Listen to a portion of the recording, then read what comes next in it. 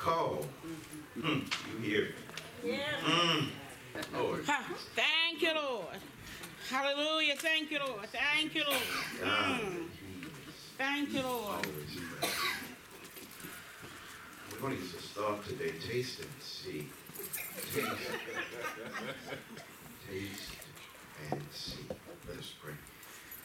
God, thank you so much for your love for us, the way that you remind us in song, and scripture, and even in word and deed. God, we, we're grateful for the constant reminders that you give to us that you love us. You love us in spite of our faults, our failures, how often we fall, um, our shortcomings. You still love us. Yes, God. Thank you, God, for loving us so much and for loving us unconditionally. And as we look in your word today and pull a page out of David's life and the experience that he has with you, um, help us to see you even in a greater light than we know you today. Stretch our thinking so that we would know you better today. Challenge us and encourage us. Help us to grow closer to you as we walk with you in this journey called life.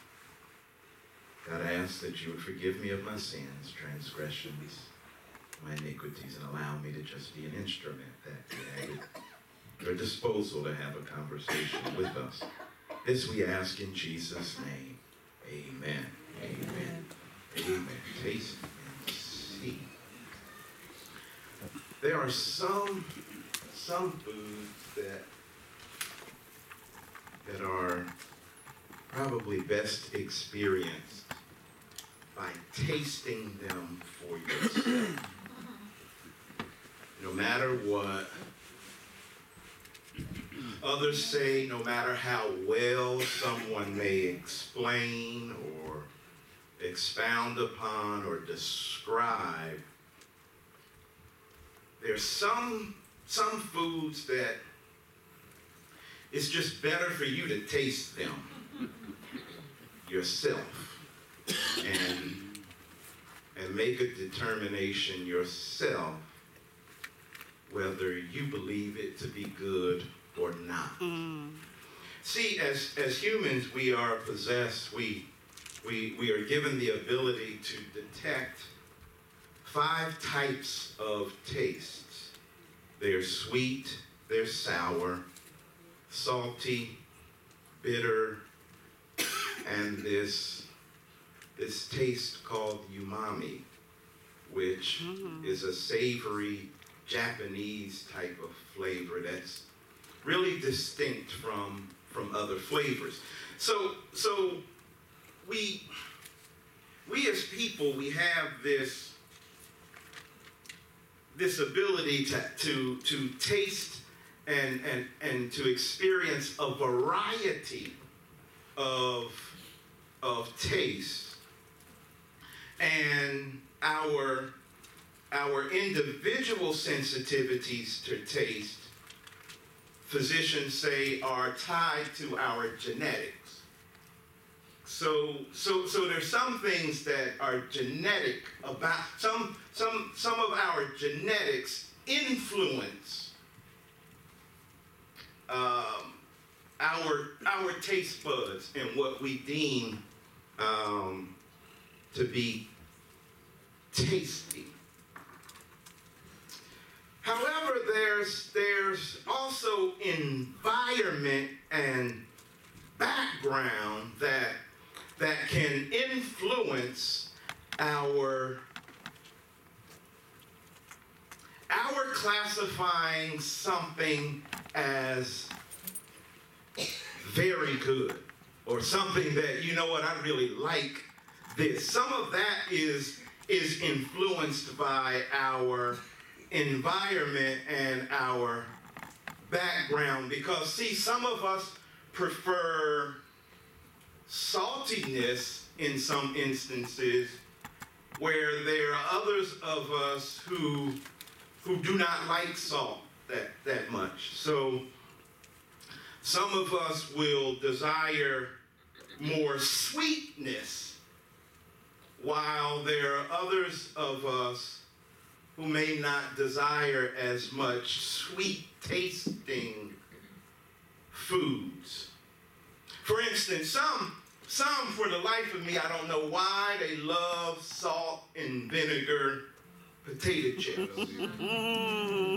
I, I, I mean, there, there are people who I know that can like crush a bag, the family bag,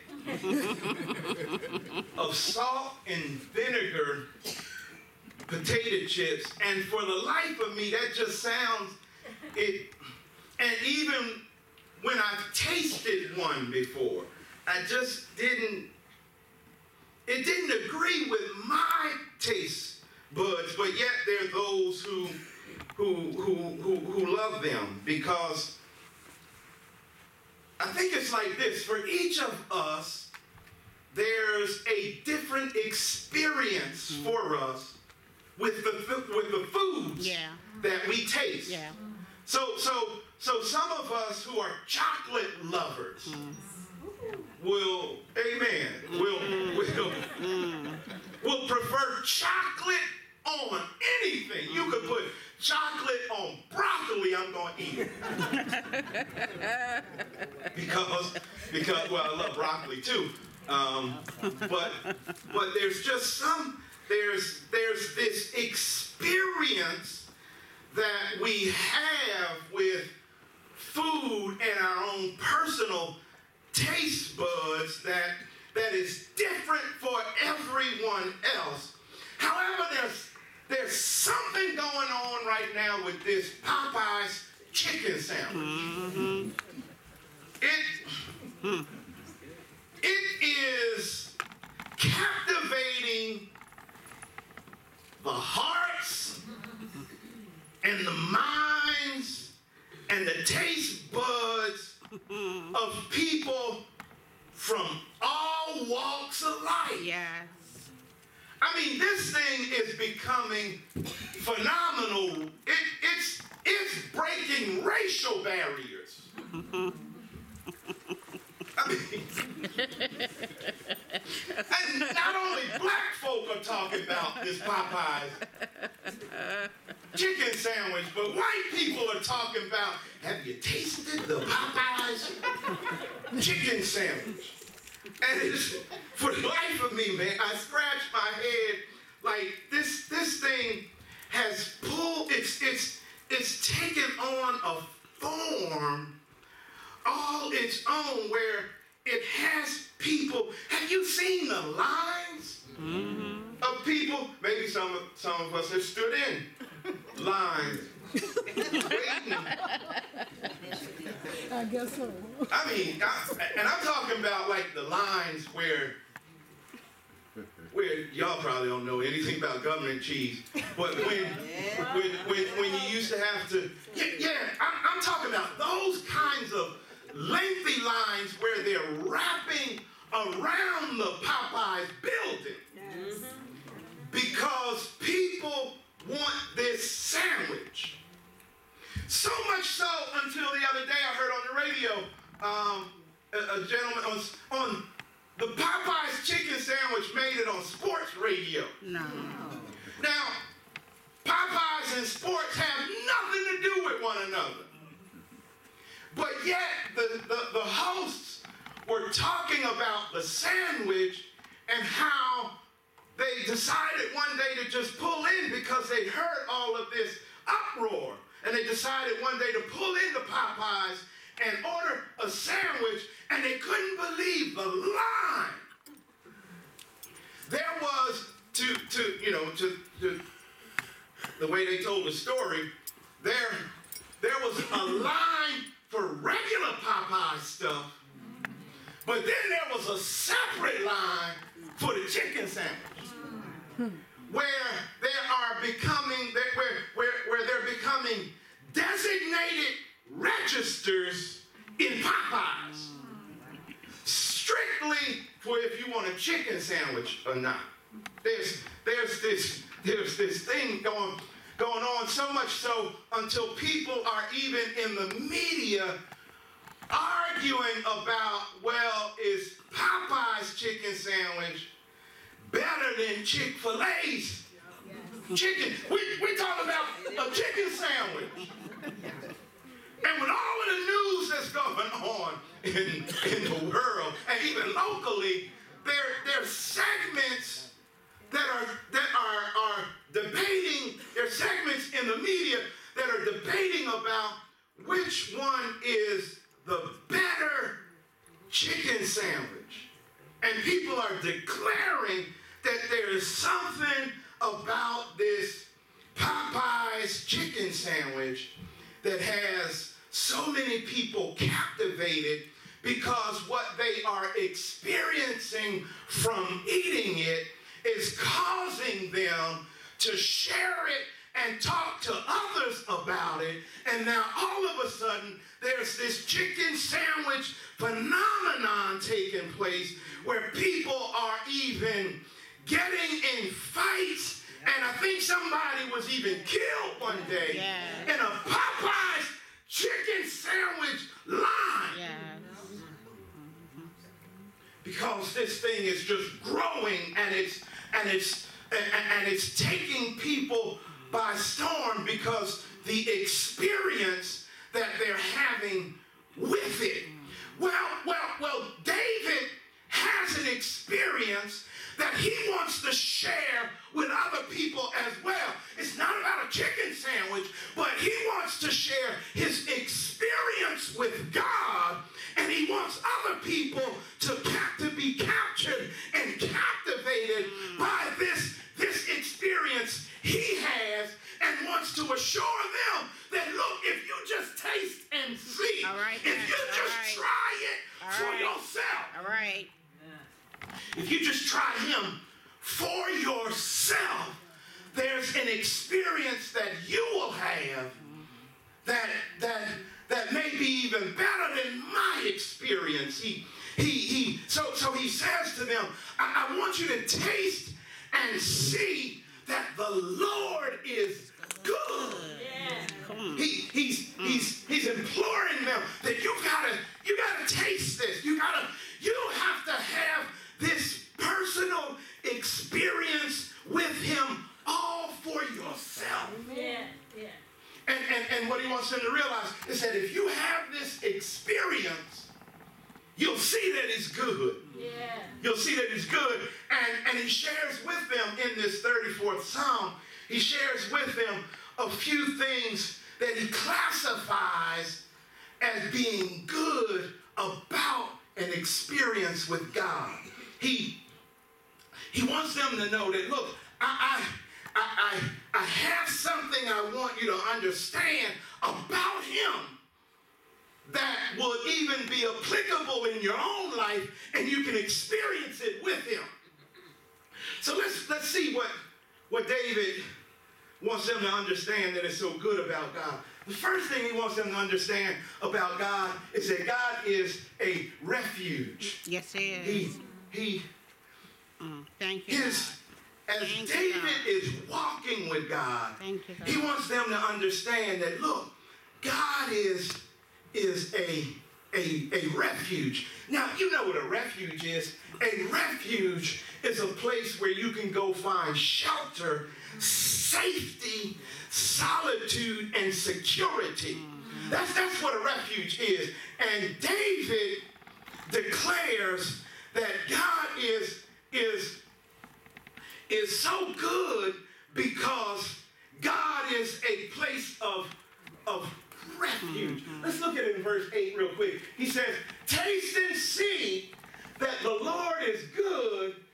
Blessed is the one who takes refuge in him. Yeah. David understands this firsthand. And here's why. Here's why. Remember, David is the young up and coming king. Yeah. Right? And Saul, who's like the OG of the time, right? He's he's like the guy who is king, because Israel wanted a king like everybody else wanted a king. And God told him, Look, I'm going to give you what you want. You know what? Y'all want it so bad. Y'all can have it. And he's going to make Israel great again. He's going to, he's going to, y'all want him so bad, y'all can have him. And so, so they have this, they have this king, right? And he hates, they have this king named Saul, and he hates that David has these fresh ideas. Oh, Holy. So, so, so he begins to discredit David publicly because that's a tactic yeah. of those. Yeah. See, see this whole political thing. I'm gonna pause for a second. And, and, and then we'll jump right back. This whole political thing about smear campaigns and stuff like that, that's nothing. That's nothing new. Right. That's a tactic and a trick that if you want to beat your opponent, what you try and do is discredit them. Yeah. And you have people fearful of them so that they'll vote for you. Okay, okay. So, so, so it's nothing new with what you will begin to see as we move closer and closer toward a um, an election year. Okay, you'll begin to see it happening because it was something that took place even back in the Bible. Saul has a problem with David because David has these new fresh ideas about leading Israel and and and and, and David comes from David comes from very meager means so he's not like a rich and famous guy David was a shepherd guy. He was a shepherd. So he watched sheep. And he was he was in a family of brothers who were um, heads and shoulders taller than him, uh, stronger than him, but yet David was the guy who depended on God. So David is this up and he's this up and coming young guy who is taking over Israel Saul doesn't have, Saul has a problem with it because it's challenging Saul's authority and Saul's power. So Saul wants to kill David. That's where we are. Saul wants to kill David. He wants to take care of David. He tries to discredit him publicly and talk about it, but he also wants to eliminate David and get rid of him. So word on the street is, is that Saul is looking for David and trying to take David out. So David has to run from city to city. He goes to this place called Nob, N-O-B, and he's he's he's there and he's hungry and he needs at least a spear or a knife to protect him. But in the city, the king of Nob told him, look, man, the only thing that we can give to you, because word on the street is that Saul is looking for you, we have Goliath's sword that's been in the temple for a while, and we'll give that to you and let you have that for protection, but we don't have any food for you. The only food we have for you is the food that has been consecrated by the priest as the showbread food in the temple. We'll let you have some of that. Hmm. Right. So, so what David is doing is he's going from city to city trying to find a place that will let him lay low. He goes to Gath. Gath, the king of Gath, says the same thing. Hold up, aren't you that dude that Saul's looking for? We can't, no, no, we can't have you around here because Saul is looking for him. And David is like, can I just stay here for a while and find some peace and some solitude and a little bit of safety? And, and the king of Gath says, no, you can't stay around here. So this is what David starts doing. David starts pretending that he's crazy. Mm. You know, he starts to act crazy to see if, okay, maybe they will see that I'm not that stable and they'll let me stay. The king of Gath said, no, man, you can't stay. You cannot stay around here. So David is going from place to place to place, trying to find refuge. He ends up in a cave in a Adullam, and that is where he finds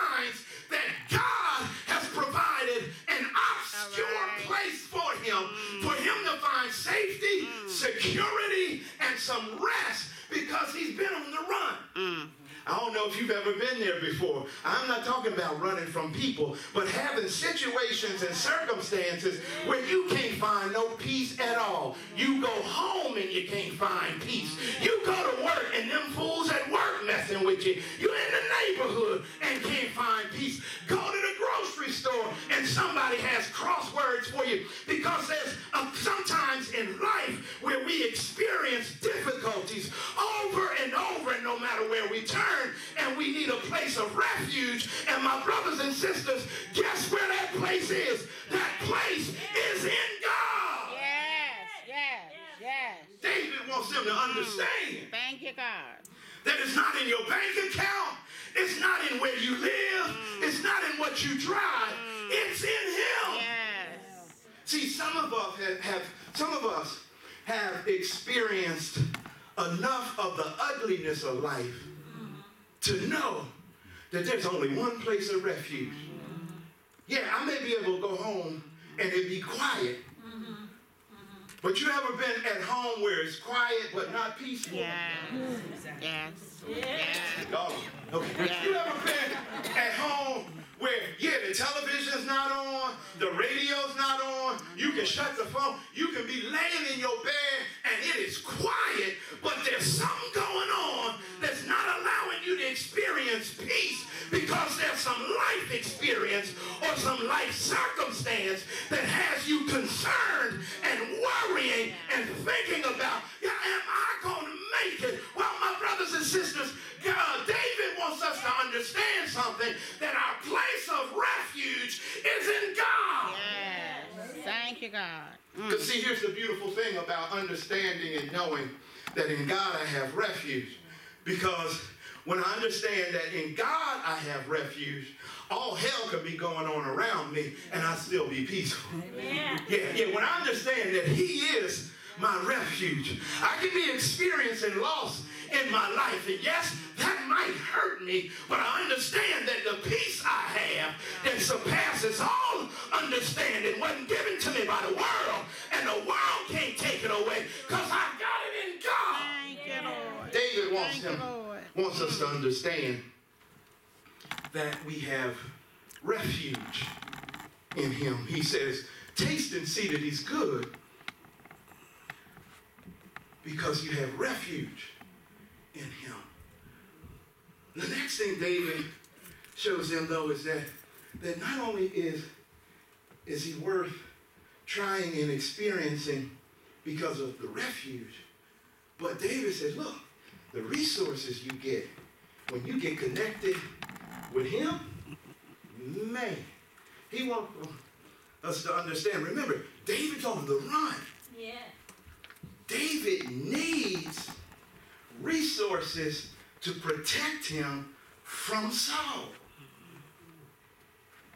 People have been turning their backs on David.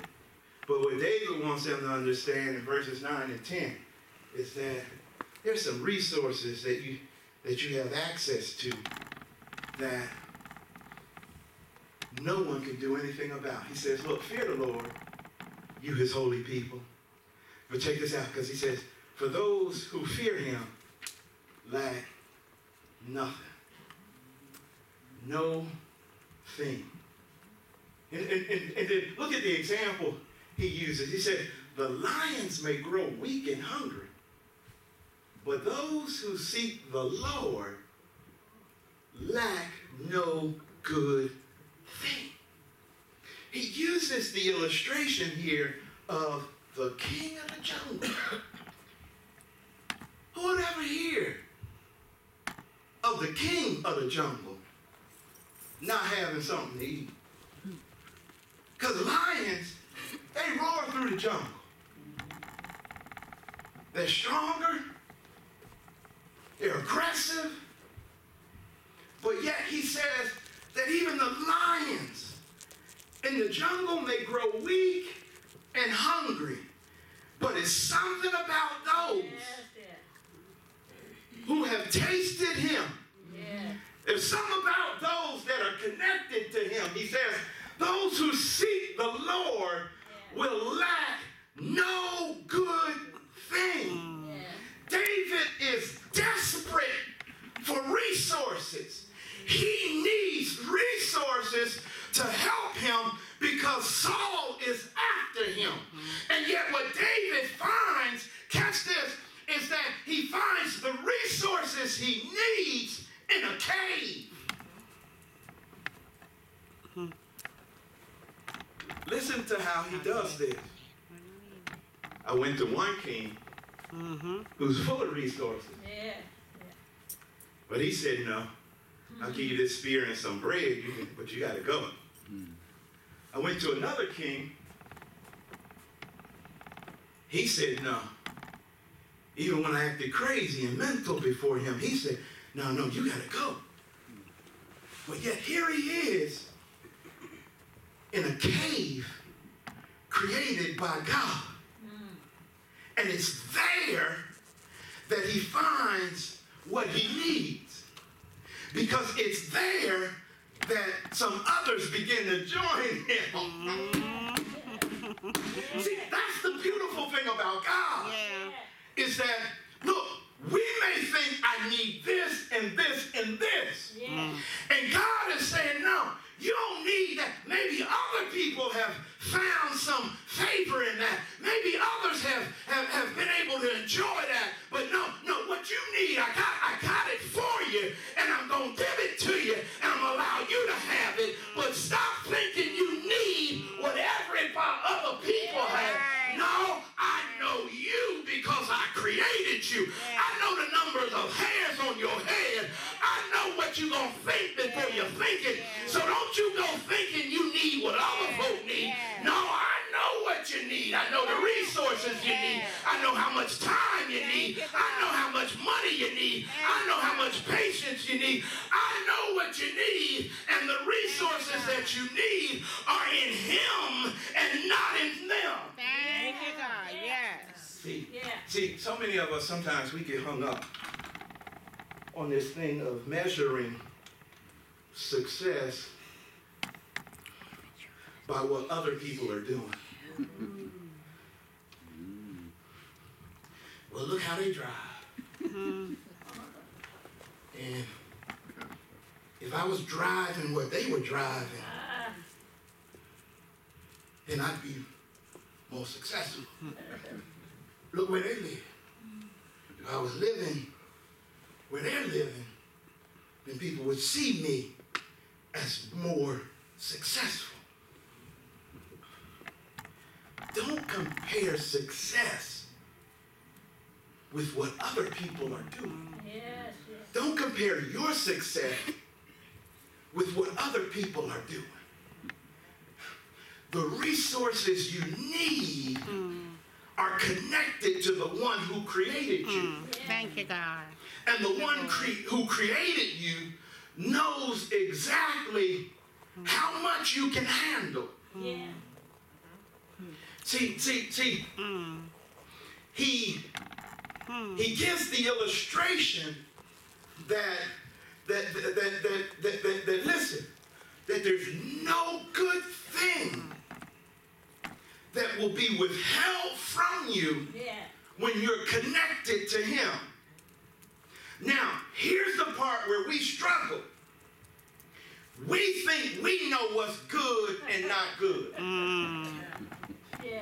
Here we are with our finite minds, and we begin to, to try and measure what we do, with what we deem to be good, and all the while here's this this God who is infinite saying, "My child, you settling for that, and and that's not good for you." But these, but this, the resources that David has experienced at the hand of God is what he wants them to understand. Yeah. That listen, he's good because he's a refuge. Yeah. That yeah, you you you want security and safety. You better make sure your security and safety is is in him. Yeah. Because places of business go out of business. Because some of us, some of us have our security wrapped up in where we work. Let them go out of business tomorrow. Mm-hmm. No, no, not even go out of business. Let them begin to think they need to make some adjustments. Mm-hmm. mm-hmm. Yep. Because my security is in Him. Not in what I do, what I drive, where I live, how much money I make, but my security is in Him. My resources come from Him. I just happen to, this just happens to be my place of employment, mm-hmm. but I work for Him. Mm-hmm. So last thing, last thing, he, he, he wants them to, under, he, David wants them to understand about God is that not only is he a refuge, and not only are there resources that are available to you by being connected to him, but the last thing he wants them to understand is how reliable God is. Mm-hmm. See, see, David understands God. something about God that he wants others to, to, to, to understand as well. Is that, look, God is just plain straight reliable. Yeah. Yeah. Yes, That, it, yes, that, that, it. that, that- listen, that, that no matter what's going on, yeah. that you can just rely on God. Let's look at it in verses 12 through 15. He said, Now, whoever of you loves life and desires to see many good days, keep your tongue from evil and your lips from lying. But check it out. He says, Now turn from evil and do good, and seek peace and pursue it. But here he says that the eyes of the Lord are on the righteous, and his ears are attentive to their crime. See, what David wants them to understand is that there's that when you're connected to God, that when you're walking with him, that when, when, when you walk with God and when you go, when you journey life through life with God, he, he wants you to under, he wants us to understand something that his eyes are watching you, right? And his ears are listening to you. In, in, in other words, in other words, what David wants us to understand is that when I'm living this life with God, that God is watching me, his eyes are on me, so he sees me and he sees where I'm going. He sees the places I should go and the places that I shouldn't go. But not only does he see me, but he also hears me. He hears me when I cry out to him because God understands that there will be situations in my life where I'm going to have to cry out to him. And it's important for me to know that he hears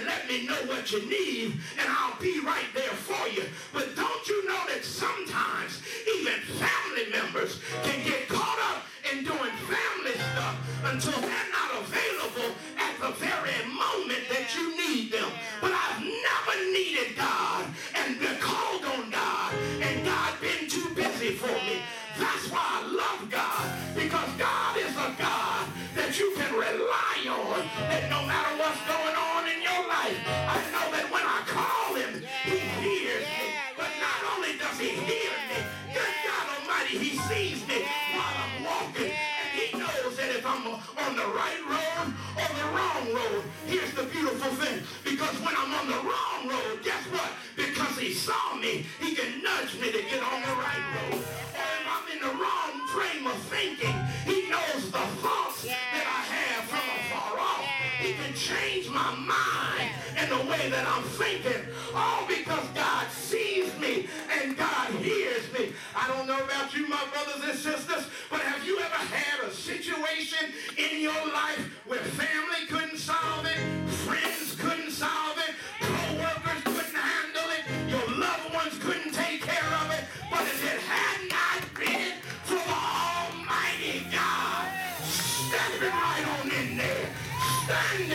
you, encouraging you, and empowering you, you know you wouldn't even be here today. There's some stuff that you and I have experienced that we should have lost our god doggone minds by now. But thank God Almighty that he loves me and he watches over me and he hears me and he sees me because God is reliable.